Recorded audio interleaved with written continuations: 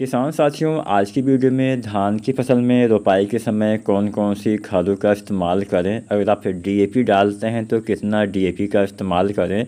इसके साथ साथ अन्य कौन कौन सी खादों का इस्तेमाल करें? रोपाई के समय से लेके और कटाई तक संपूर्ण जानकारी आज की वीडियो में हम आपको देने वाले हैं कि धान में अगर आप डी खाद डालते हैं तो साथ में अन्य कौन कौन सी खादों का इस्तेमाल हमें करना चाहिए?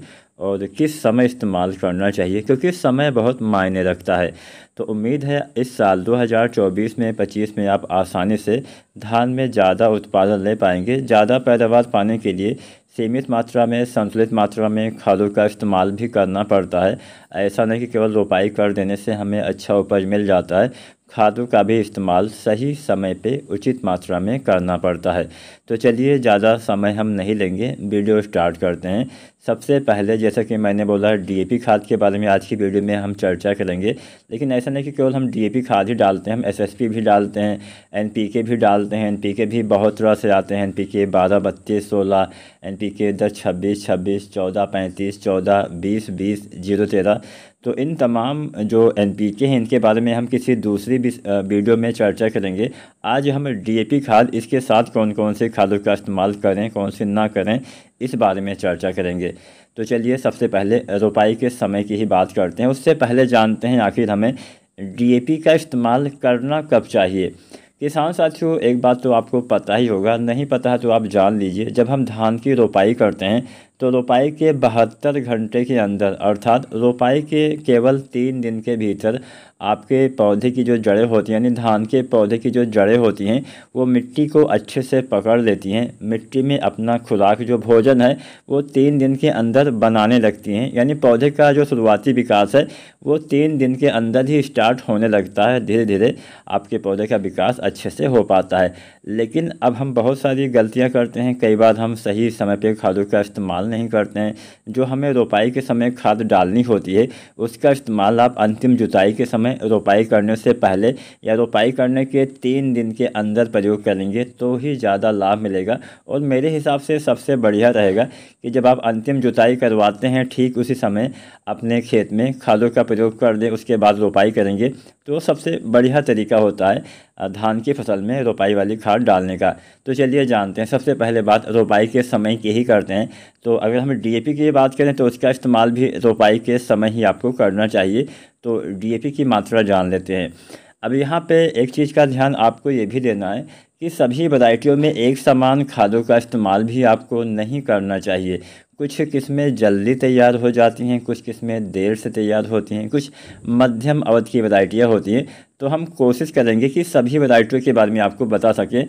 तो जो धान की वैरायटी थोड़ा जल्दी तैयार हो जाती है, यहाँ पे जो हम खाद की मात्रा आपको बताने वाले हैं, वो हाइब्रिड धान में खादों की मात्रा आपको बताएँगे। तो जो वैरायटियाँ धान की जल्दी तैयार हो जाती हैं, मान के चलिए 120 दिन से भी जल्दी तैयार हो जाती हैं। उन धान की वैरायटियों में आपको डीएपी जो है, रोपाई के समय 30 किलो डालना है। 30 किलो पर एकड़ के हिसाब से। यहाँ पे जितनी भी मात्रा बताऊँगा, वो पर एकड़ यानी एक एकड़ खेत की मात्रा मैं आपको बताने वाला हूँ।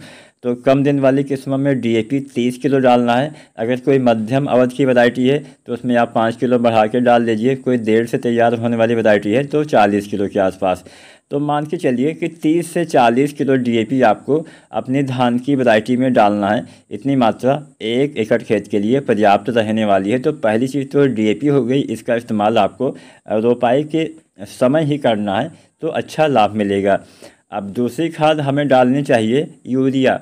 अब हालाँकि यूरिया आप ज़रूरी नहीं कि आप रोपाई के समय ही डालें, आप एक सप्ताह बाद भी डाल सकते हैं, लेकिन अगर आप डालते हैं तो इसका भी अच्छे से लाभ मिल जाता है। तो यूरिया अगर आप रोपाई के समय डालते हैं तो 16 किलो के आसपास कम दिन वाली वैरायटियों में और जो थोड़ा सा देर में तैयार होती हैं, उसमें 20 किलो आपको डालना होता है। तो 16 से 20 किलो आपको यूरिया रोपाई के समय डालना चाहिए या फिर रोपाई के एक सप्ताह के अंदर भी आप डाल सकते हैं।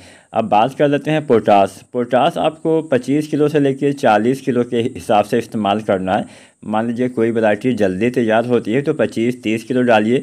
मध्यम अवधि वाली वैरायटी में 30 से 35 किलो और देर से तैयार होने वाली किस्मों में 35 से 40 kilo M O P potash जो 60 परसेंट वाला आता है, इसका इस्तेमाल आपको धान की फ़सल में करना चाहिए।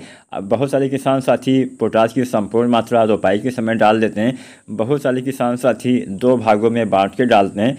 तो अगर आप दो बार पोटास डालना चाहते हैं तो आधी मात्रा आप रोपाई के समय डाल दीजिए। आधी मात्रा चालीस पैंतालीस दिन के अंदर जब हम अंतिम यूरिया डालते हैं, तब इस्तेमाल कर दीजिएगा तो भी अच्छा लाभ मिल जाएगा।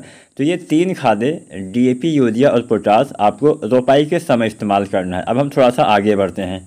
जब हमारी धान की फ़सल मान के चलिए कि 20 दिन के ऊपर की हो जाती है, यानी रोपाई के 20 दिन के बाद आपको कुछ अन्य खादों का इस्तेमाल करना चाहिए। अगर आप जिंक डालते हैं तो जिंक का इस्तेमाल तो हम रोपाई के समय कर नहीं सकते हैं तो बाद में डालना होता है। तो अमूमन क्या होता है कि वही 25 से 30 दिन पे हम जो है यूरिया जब डालते हैं, तब हम जिंक भी डाल देते हैं। अब ये जो यूरिया 25 से 30 दिन की जो मैंने समय बताया, जो आप दूसरी बार डालेंगे तो आप अपनी वैरायटी के हिसाब से पहले भी डाल सकते हैं। आप 20 दिन पे भी डाल सकते हैं। कोई वैरायटी अगर 100, 110, 115 दिन में तैयार हो जाती है तो मतलब जितनी वैरायटियाँ जल्दी तैयार होती है उसमें खाद की मात्रा भी पहले डालनी चाहिए। तो मान के चलिए बीस पच्चीस दिन पे आपको यूरिया फिर से डालना है, तीस से चालीस किलो, तीस किलो कम दिन वाली वैरायटियों में चालीस किलो थोड़ा सा देर से तैयार होने वाली वैरायटियों में आपको यूरिया डालना है। अब जब आप तीस चालीस किलो यूरिया डालते हैं तो इसके साथ दो चीज़ें आपको डालनी है। पहला तो आपको डालना है जिंक, अगर आप तैंतीस प्रतिशत वाला जिंक सल्फेट डालते हैं, पाँच किलो से लेकर सात किलो डालिए अगर आप इक्कीस प्रतिशत वाला जिंक सल्फेट डालते हैं, आठ किलो से दस किलो डालिए। लेकिन आजकल तैंतीस परसेंट वाला ही ज़्यादा मिलता है, इक्कीस परसेंट वाला उतना अच्छे से ज़्यादा नहीं मिल पाता है। अगर मिलता है तो आप वो भी डाल सकते हैं। इसके साथ तीसरा चीज़ आपको डालना है सल्फ़र। सल्फ़र 90 प्रतिशत वाला तीन किलो के आसपास यूरिया, जिंक और सल्फ़र, ये तीन खादें आपको जो है वो मान के चलिए 20 दिन से लेके और 30 दिन के अंदर डाल देना है। कोई वैरायटी जल्दी तैयार हो जाती है, बहुत जल्दी। तो 20 दिन पे डालिए, मध्यम अवध की वैरायटी में 25 दिन पे देर से तैयार होने वाली किस्म में आप 30 दिन तक भी डाल सकते हैं। तो ये मात्रा पर्याप्त रहेगी। तो ये तो हो गया कि हाँ पच्चीस, बीस से तीस दिन पर आपको इन खादों का इस्तेमाल करना है। इसके बाद अब हम बात करते हैं अंतिम खाद। तो अंतिम खाद भी आपको वैरायटी के समय के हिसाब से इस्तेमाल करना है। तो अंतिम यूरिया वही 40-45 दिन के आसपास आपको इस्तेमाल करना चाहिए। कोई वैरायटी बहुत जल्दी तैयार होती है तो 40 दिन के अंदर ही डाल दीजिए। तो अंतिम यूरिया भी आपको वही 30 से 40 किलो के हिसाब से इस्तेमाल करना है। और अगर आप पोटास दो बार डालते हैं तो पोटास की अंतिम मात्रा, जैसे कि मैंने बोला था, आप इस समय 40-45 दिन पे इस्तेमाल कर दीजिए। 25 से 40 किलो पोटास आपको इस्तेमाल करना होता है कुल मात्रा। तो अपनी फ़सल की वैरायटी के हिसाब से, समय के हिसाब से आप इस्तेमाल करिए। अगर आप रोपाई के समय संपूर्ण मात्रा डाल देते हैं तो भी अच्छा। बहुत से किसान साथी दो बार डालते हैं तो आधी मात्रा आप रोपाई के समय आधी मात्रा आप चालीस, पैंतालीस दिन के आसपास जब यूरिया डालते हैं तो आप पोटास भी डाल सकते हैं साथ में। तो ये तो यहाँ पे हमने सभी जो दानेदार खादें आती हैं, उसका इस्तेमाल आपको बता दिया। और अगर आप चाहते हैं कोई भी ग्रोथ प्रमोटर वगैरह डालना तो वो भी आप डाल सकते हैं। कब डालना चाहिए?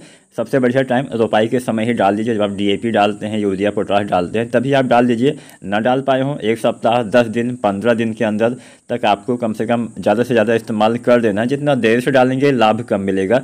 तो कोशिश करिए कि रोपाई के एक सप्ताह के भीतर ही आप कोई भी ग्रोथ प्रमोटर जैसे सागरिका, दानेदार आता है बायोबीटा आता है, बहुत सारी कंपनियाँ बनाती हैं तो जो भी आपको अच्छा लगे, भरोसेमंद हो, उसका इस्तेमाल आप कर सकते हैं।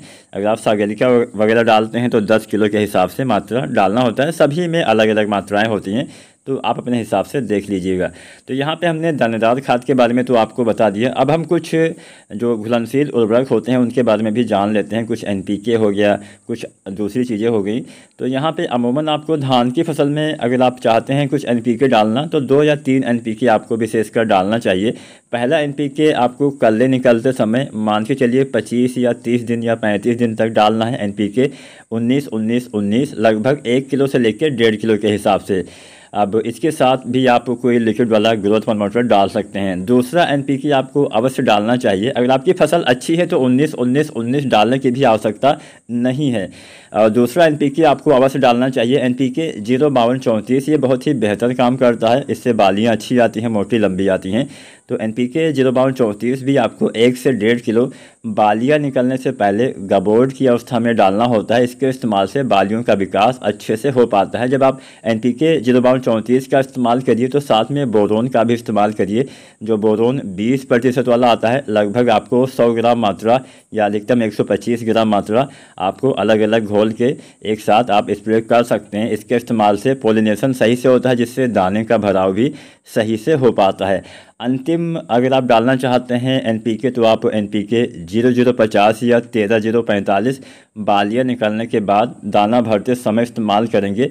तो दाने का भराव अच्छे से होता है, ज़ीरो ज़ीरो पचास बेहतर काम करता है, इसमें पोटेशियम भी, इसमें सल्फ़र भी होता है, साथ में पोटेशियम भी होता है, पचास प्रतिशत तो ये अच्छे से काम कर पाता है। तो बस ज़्यादा कुछ नहीं करना, अगर आप सही समय पे इतनी मात्रा में खालू का इस्तेमाल करते हैं तो आप भी धान में अच्छा उत्पादन अवश्य ले पाएँगे।